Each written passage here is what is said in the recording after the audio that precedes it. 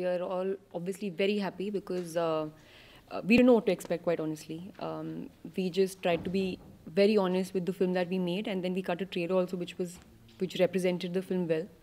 But I feel so happy because every aspect of the trailer has been appreciated. You know, like um, right from uh, the the way the you know introducing a ghost character in a in a film which is different, then the uh, pairing of uh, Dil- Diljit and my pairing then Suraj um, also.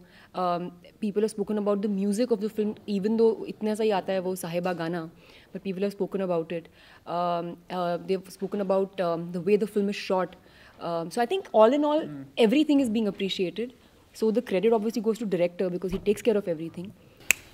अगर आपको picture का trailer अच्छा लगा mark the date twenty fourth March को please चाहिए और हमारी film discover कीजिए फैमिली एंटरटेन एंटरटेनर है फुल फैमिली फ़िल्म है सो अपने परिवार के साथ जाइए एंड एंजॉय द फ़िल्म